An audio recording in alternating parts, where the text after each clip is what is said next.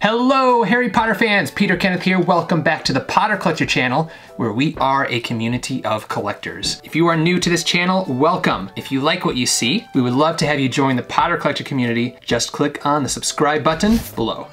The wand feature for today is my Pottermore wand, which is hazel with a dragon heart string, 13 and a quarter inches, and it has reasonably supple flexibility. This wand was custom made for me by the people at Windermere Wand Makers. You can check them out in the description below. Today's video is one that received a lot of requests, and that is the Target exclusive 10 inch Hedwig Funko Pop. As you can see, she is gigantic, number 70 of the line, exclusive to Target. Here is the back of her box, which shows some of the other Funko Pops that are in this series. In my last video, when I was searching for the 4 inch mini wands at Target stores, I saw a lot of these Hedwigs in store, so she's still available at the moment. She is also available to order online. I will put a link down below to where you can purchase her on the Target website, as well as where you can search your local store to see if they have her in stock. One of the stores had 10 of them. She retails for $29.99.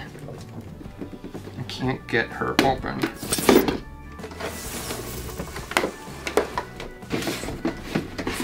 Behind her in the box is this background card, which is the new design of the Harry Potter Funko Pops, this white and gray wizarding newspaper theme. There are a few things that you can read. Most of it is just gibberish, like contact the ministry if you have any information, and then it has an article, but it's all like a different language. Still very cool looking though.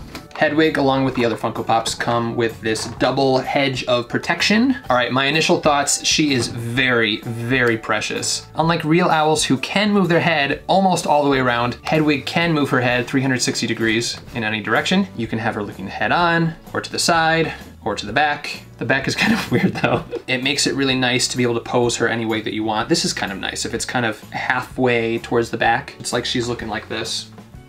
Very nice sculpt work. She actually looks like she could be soft and have feathers on her head and her chest and her back. Nice simple paint job, white and black. Her feet are a different color than the rest of her body. They used more of a glossy paint as opposed to more of a matte paint to make the feathers look a little bit more like feathers. She has big giant eyes just like all of the other Funko Pops. And for Hedwig, this kind of makes sense because owls do have big eyes. It'd be nice if her beak was more of a beak color as opposed to black. It's really nice to see the amount of detail that they put into this one specifically. The line or break in between the bird's chest, which is true with, with birds, and owls, the feathers on her feet, as well as the claws on the back, the feather pattern continues on the underside as well. I wish that the beak was a more orange color, but besides that, there's really not much more that I would want different from this pop. The other Target exclusive 10 inch Funko Pops are the 10 inch Dobby, which sold out very, very quickly. This is one of the first 10 inch Funko Pops that Funko released, as well as the first Harry Potter 10 inch Funko Pop. He is holding Harry's sock. He has just been freed. And of course his tea cozy, his long nose, and of course big ears. This is one of my favorite Funko Pops that they've released. He looks just like the normal version that they sell, but the 10 inch is striking, and the giant head with his little body is just really cute. The next 10 inch Funko Pop that was released was the Niffler, holding a pocket watch. He is still available on the Target website, and I have recently seen one or two show up in stores. So again, I will put a link down below, and within that link, you can also check your Target store to see if they have him in stock. All of them retailed or retail for $29.99. Dobby is gone. You can only find him from third-party sellers. Niffler is still available,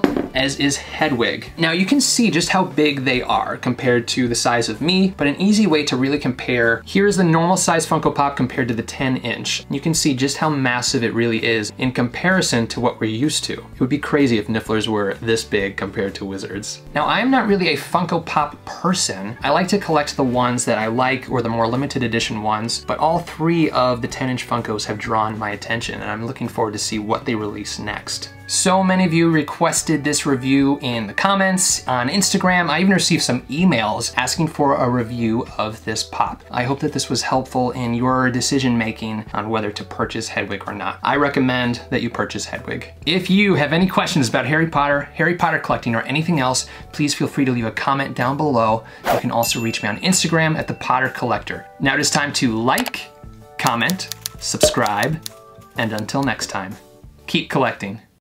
Thank you so much for watching. If you're new here, welcome. You can subscribe right up here. You can also look at some previously posted content down here. If you have any questions about Harry Potter books or collecting, please feel free to contact me. I'm always happy to help. But for now, I must go. See you next time. Whoa, where'd he go?